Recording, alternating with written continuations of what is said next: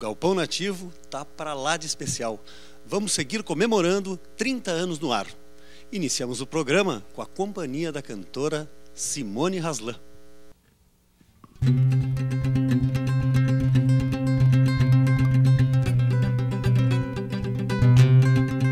Vem de um lugar chamado Flores, esta ciranda de tantas cores vem nos aliviar as dores, os maus olhados, os dissabores. Ó cirandeiro, cirandeiro, que faz ciranda ao tempo inteiro, só por folia, só por amor. Vem de um lugar chamado Flores, esta ciranda de tantas cores vem nos falar dos trovadores, dos bem-amados, dos benfeitores. Ó cirandeiro, cirandeiro, que faz ciranda ao tempo inteiro e só por isso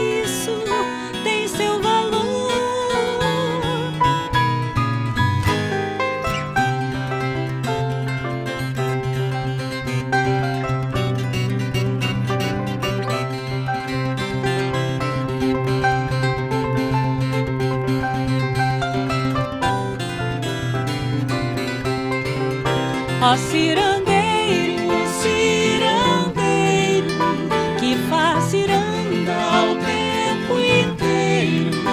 E só por isso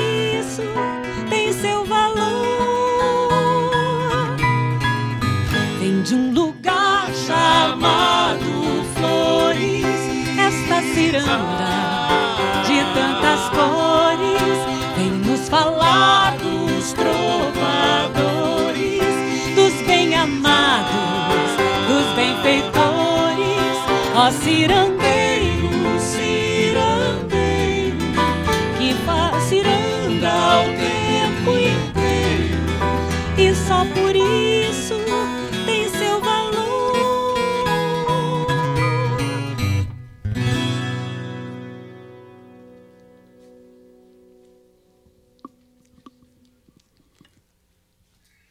Simone Haslan, E aí? prazer te receber aqui no Galpão Nativo. Nossa, o prazer é todo meu. Um programa de 30 anos, coisa linda isso, né? Bonito, né? Muito. Bonita música que vocês fizeram. É, essa música aí é do Moacir Santos e do Gil. Moacir Santos, um baita compositor. Na Gil a gente não precisa nem falar nada, porque todo mundo Sim, conhece. Mas o Moacir Santos é um compositor que pouca gente conhece, mas já morreu. Mas um grande cara que mudou a forma de harmonizar a música popular brasileira, né? Um cara importante para nossa cultura. Simone, o teu interesse pela música vem desde menina?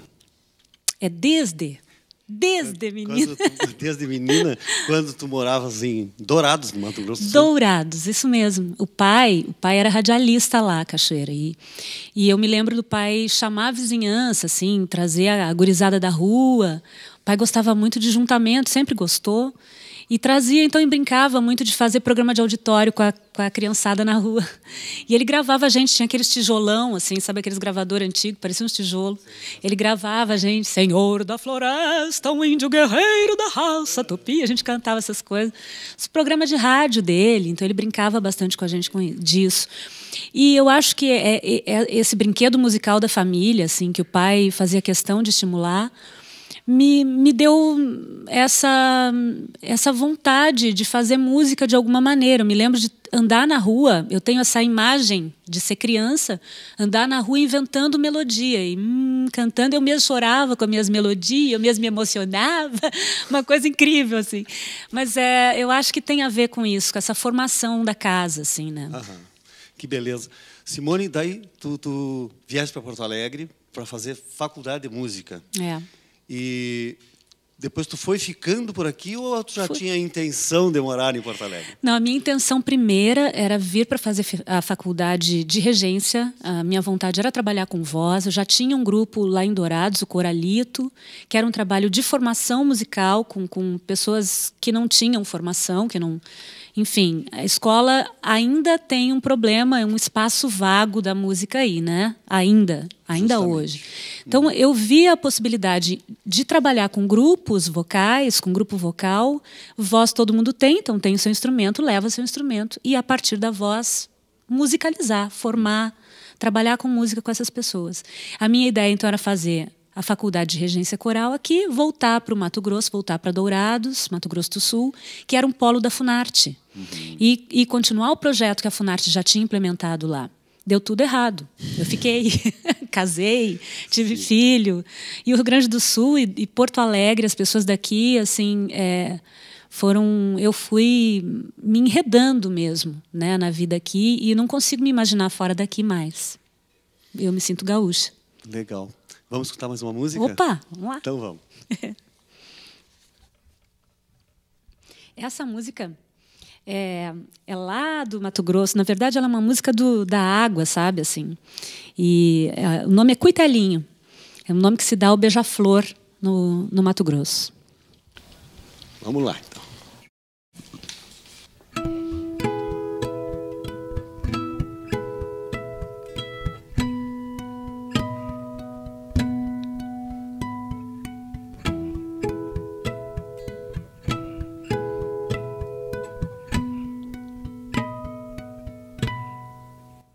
Cheguei na beira do porto onde as ondas se espaiam.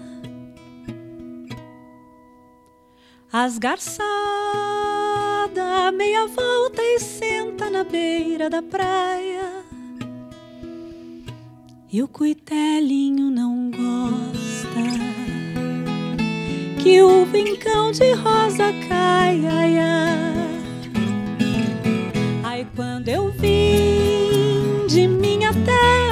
despedida parentalha,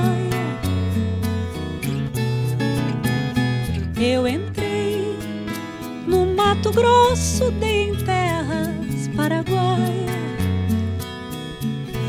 Lá tinha revolução. Enfrentei fortes batalhas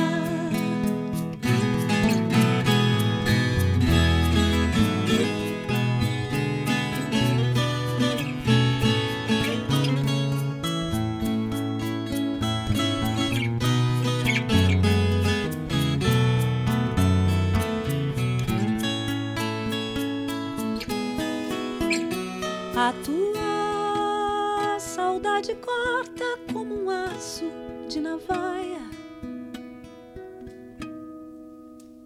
O coração fica aflito, bate uma outra faia. E os olhos se enchem d'água, que até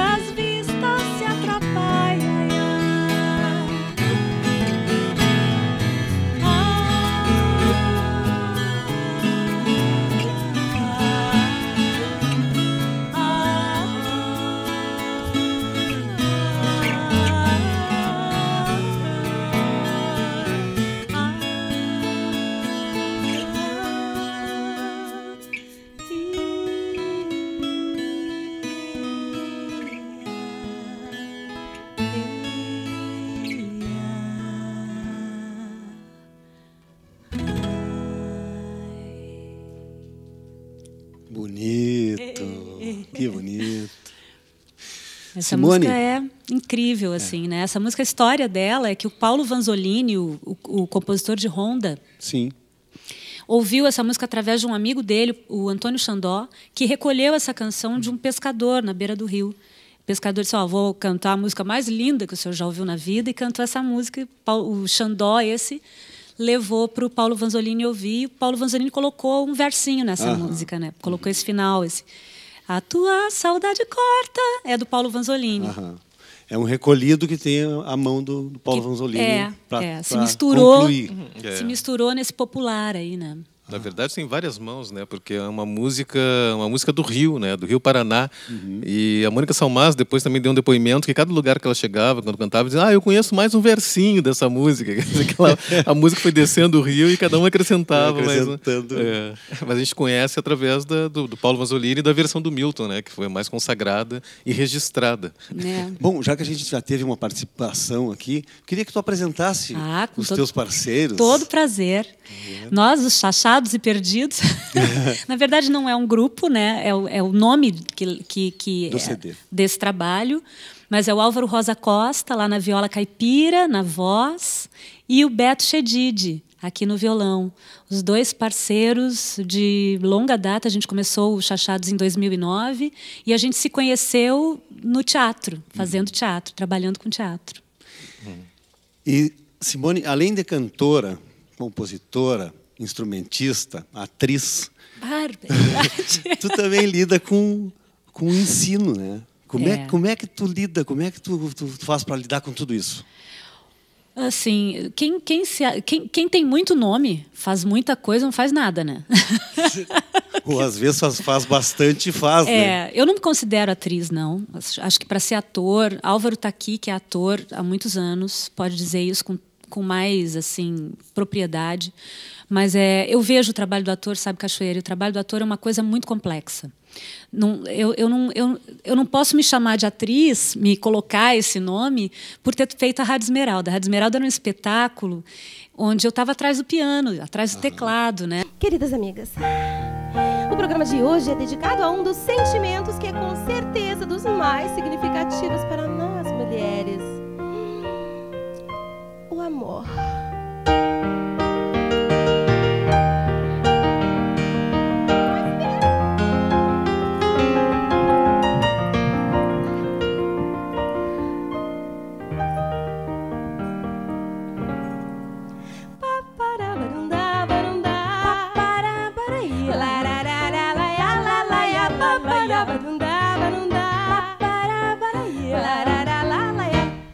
Quando esse nego chega, Ai. meu coração me dói. Dói, parece que vai. Vai, solta do peito e vai rolando pelo chão. Ai, que maldição.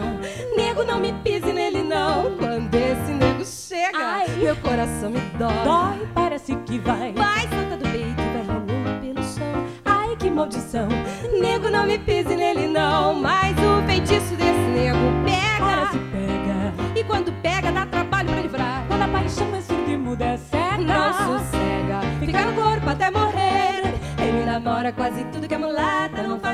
democrata, eu nasci pra padecer.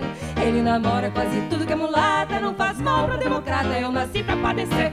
Quando esse nego chega, ah, meu coração me dá. Dói, parece que vai. Mas salta do peito e vai rolando pelo chão. Ai, que maldição. Nego, não me pise nele, não. Quando esse nego chega, oh, meu coração me dói. Dói, parece que vai. Vai, salta do peito e vai rolando pelo chão. Ai, maldição. Nego, não me pise nele, não. Mas o feitiço desse nego pega. Ora se pega. E quando pega, dá trabalho pra livrar. Quando a paixão é surda e muda, é cega. Não sossega. Fica no corpo até morrer. Ele namora quase tudo que é mulata. Não faz mal pra democrata. Eu nasci pra padecer. Ele namora quase tudo que é mulata. Não faz mal pra democrata. Eu nasci pra padecer.